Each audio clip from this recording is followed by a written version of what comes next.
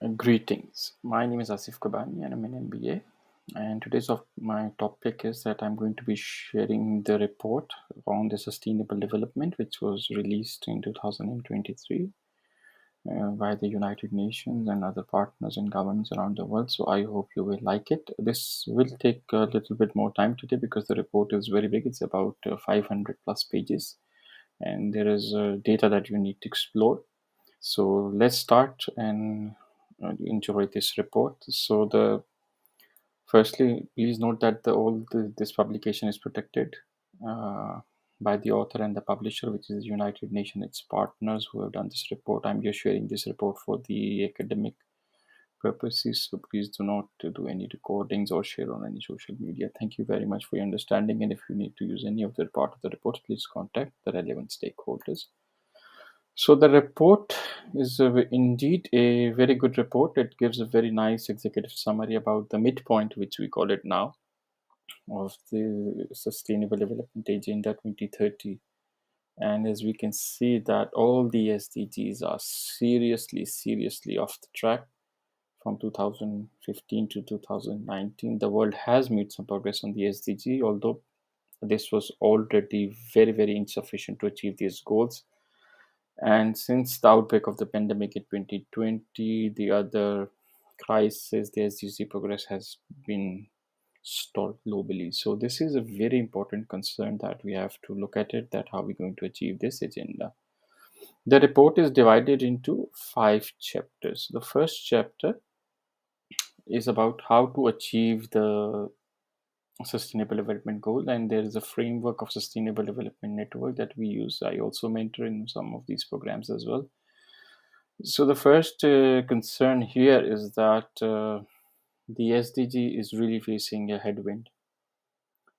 Despite significant effort in some places the governments and countries they have all fallen short in integrating the sdgs into their national policies public investments, and moreover, due to the polarization, the geopolitical conflicts that also hinders the global cooperation needed to achieve the sustainable development goals. However, civil society, including academic institutions, are becoming more more proactive, and we are seeing more startups and young entrepreneurs coming from the US, UK, Europe, Nordics, and including South-South cooperation are trying to solve these problems even with the political tension there is a international financial crisis in making also. So there is a lot of challenges uh, right now in when you talk about the global challenges of global savings for the sdgs and investment that needs to scale this work so I can show you in the third part that uh, second part, uh, the second part of the report, which focuses on the SDG index and the dashboard. So you can see that all the goals are either red or yellow. None of them are green because the SDG index and the dashboard tracks the annual progress of all 193 UN member states. So you can see this is a box one. They have very nice information of box and maps in the report that I will discuss in future as well in further report. But at the midpoint, however, you can see they, they are all off track, as I mentioned before as well. So this is, is, is really alarming that all the SDGs are off the track despite improving on an average half point a year basis. But as I told you that between 2015 2019, which was already very slow progress, and then the outbreak of pandemic created more crisis. But let's move to the third part of the report. The third part of the report discusses the government efforts to the commitment of the SDGs. So, if you are new here, please join and subscribe and connect with me on the LinkedIn, our resource center, and the teams. So these are the 17 SDGs goal that you are seeing in the screen. Goal number one is poverty. Goal number four is education. Goal number uh, 13 is climate change. So you may have different interests in different goals. Maybe it can be water, it can be education, it can be health. Goal number three is health. So the most important part uh, of any development or sustainable development process is that the government efforts and the commitment to the SDGs is very important because it requires a lot of long-term changes and global cooperation and long-term investment plans for essential and national success in meeting this goal. Uh, there is some speculations that when the SDG agenda was adopted, that the all and the goals target would be achieved at their midpoint. However, the midpoint is here and none of them has been achieved and we are just struggling. However, by 2023, one would expect that most of the countries have implemented uh, uh, policies, regulation, framework compatible to achieving the sustainable development goals in the transition. It would also expected the countries would have at least one documented uh, evidence that their plans in achieving the sustainable development goals is voluntary. But some countries are doing voluntary national reviews and presenting it to the United Nations. But to understand that how the commitment is going to be fulfilled is, is, is very clear in the United Nations Charter. Okay, but then there comes uh, political leadership and institution coordination for the SDGs, which some of the countries have done it. It's a very good thing that they've started doing it. But finally, these policies has to integrate in their social policies and pathways as well. So, as a governance specialist, uh, as a mentor, I always say that you need to have a policy, provision, implementation and finances to do it. If you don't have any of these ones so the, the cycle of development doesn't work because you can only make policies but you don't have a provision in your policies how people will implement it.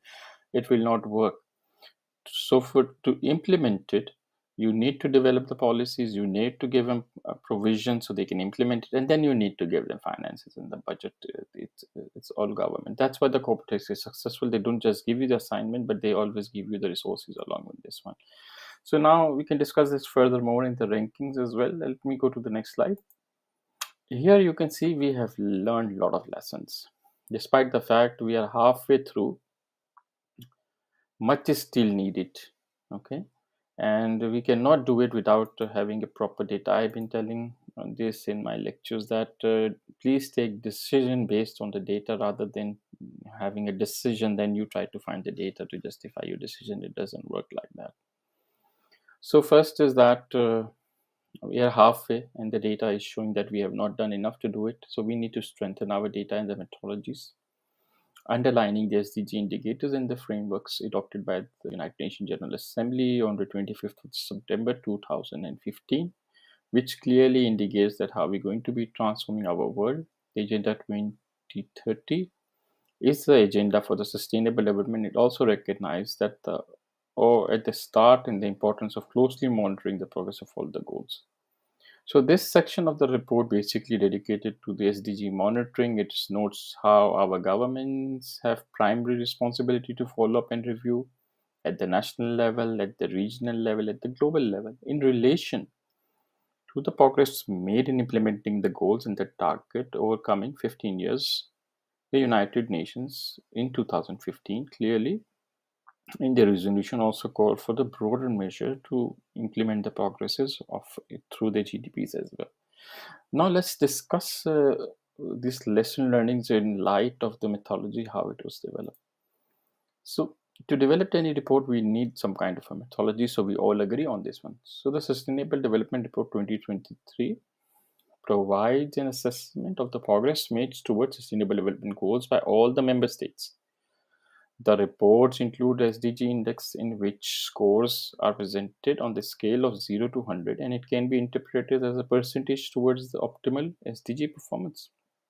Therefore, there's a difference between 100 and a country SDG index scores in a distance and percentage point that must overcome the performance. The same basket of the indicators are the performance thresholds as well are used by for the, all the countries to generate comparable analysis and the rankings.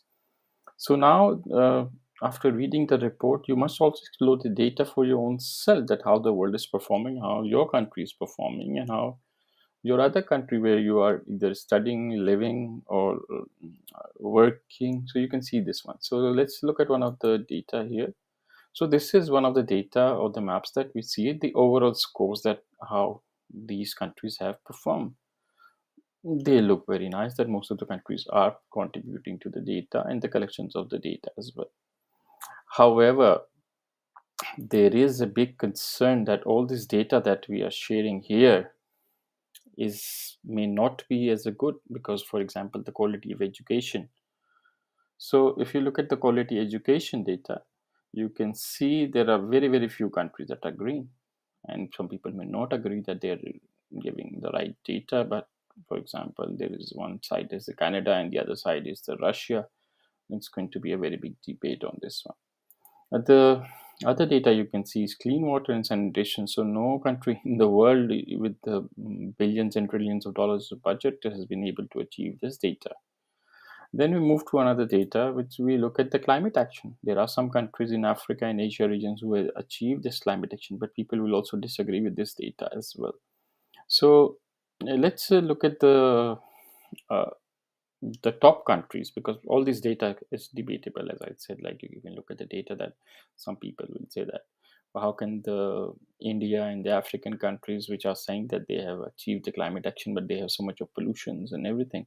So so all this data is debatable. That's why I keep the small set. So I also have very very important questions that what is that? But let's look at the overall rankings. So there are many countries in the world who perform and has been performing very well. Are so this year ranking the Finland tops number one with the 86.76%. The Sweden is 85.9%. Denmark 85.6%. So most of the Scandinavian countries usually perform very well because they have a small number of population and large number of resources to achieve these goals, and they are major contributors and donors to the Sustainable Development Goals as well. Then you can see we have Germany, Austria, France, Norway, and uh, the list goes on. Poland, Estonia, and then uh, finally i put the 11th one united kingdom which has been after brexit has been working very very hard. So you have to analyze these reports by your own self that what the data is showing and what you believe in. So take your time to study all this data. I want to share one more slide here before we go. Uh, that uh, there are many reports that has been published uh, over the years. This is the 2023 uh, report. We have 2022 report. We teach these reports uh, in our next generation leadership programs as well at the international sustainable development resource center for people who are developing their own startups or running their own businesses to understand how this global development and sustainable takes place sustainable development takes place. So these are the, some of the global reports that you see on the screens. You should uh, download it and read it uh, it will give you information. But along that one please also report some of the regional edition of the reports uh, so you can understand how the g20 works you know how the regional reports work and there are sub-national editions of reports as well.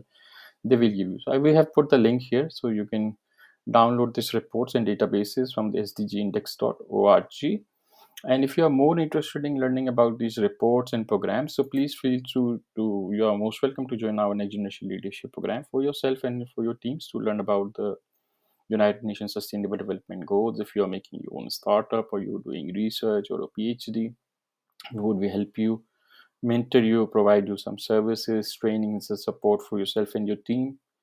And then feel free to connect to me on the linkedin and subscribe to this channel at the youtube or any other platforms that you are following and you are finally most welcome to come and join us at the international Sustainable development resource center geneva. This is our linkedin page and you can visit the resource center as well. Thank you very much for your time and i hope you will enjoy this one. And please uh, feel free to share subscribe connect and uh, comment on the report as well. I hope to see you in the next report as well. Thank you very much uh, and i hope you will have a good time and you will have a good learning as well on these reports and hope to see you in the next video